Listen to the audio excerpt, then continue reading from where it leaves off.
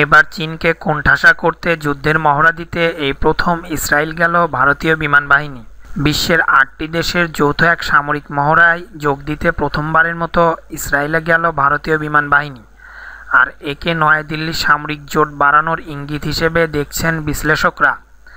জানা গেছে C one three zero J super Hercules বিমানে করে পঁয়তাল্লিশ জনের এক দল মঙ্গলবার ইসরায়েল পৌঁছে। এই দলে বিমান বাহিনীর গরুর কমান্ডাররাও রয়েছে বলে জানা গেছে।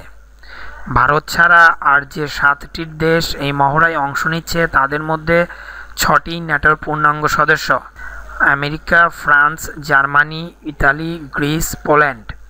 আর ইসরায়েল ন্যাটোর পূর্ণাঙ্গ সদস্য না হলেও মেডিটেরিয়ান ডায়ালগের অংশ হিসেবে তারা ন্যাটোর সহযোগী।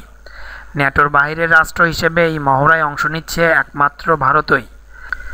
ইসরায়েলে আয়োজিত এই সামরিক মহড়ার নাম ব্লু ফ্ল্যাগ দুই দুই বছরের একবার এই মহড়া আয়োজিত হয়। এবছর দুই নভেম্বর থেকে ষোলো নভেম্বর পর্যন্ত এই মহড়া চলবে। ইসরায়েলের উভাদ এয়ারফোর্স বেসে আয়োজিত এই মহড়ায় অংশগ্রহণকারী সব বাহিনী পরস্পরের কাছে থেকে নানা সামরিক কৌশল শিখবে। কোনো বহুদেশীয় সামরিক মহড়ায় ভারত ও ইসরায়েলের বিমান বাহিনী এই প্রথমবার একসঙ্গে অংশ নিচ্ছে বলে ভারতীয় প্রতিরক্ষা মন্ত্রণালয় সূত্রে বলা হয়েছে। দেশি প্রবাসী ভাই ও বোনেরা আমাদের এই চ্যানেল হতে আপনারা যদি আরও লেটেস্ট নিউজ পেতে চান, তাহলে অবশ্যই সাবস্ক্রাইব করুন এবং সাবস্ক্রাইব বাটনের পাশে নোটিফিকেশন বাটনটি অবশ্যই অন করবেন। ধন্যবাদ সবাইকে।